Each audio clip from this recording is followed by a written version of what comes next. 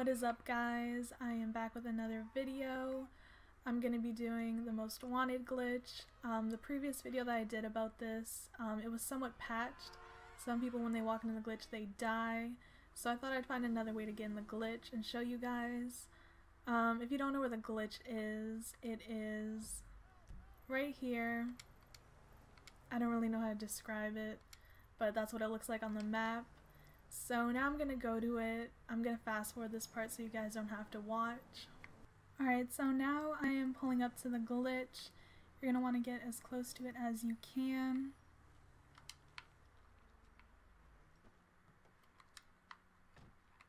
And then you're going to want to jump in it.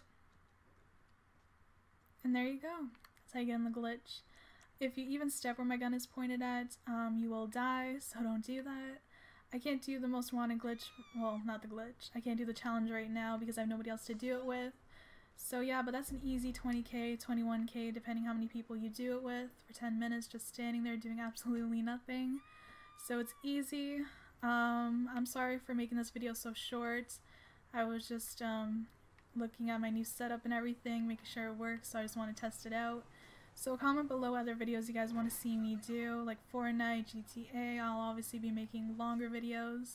So thank you guys for watching, I hope you guys found this useful, and have a great day.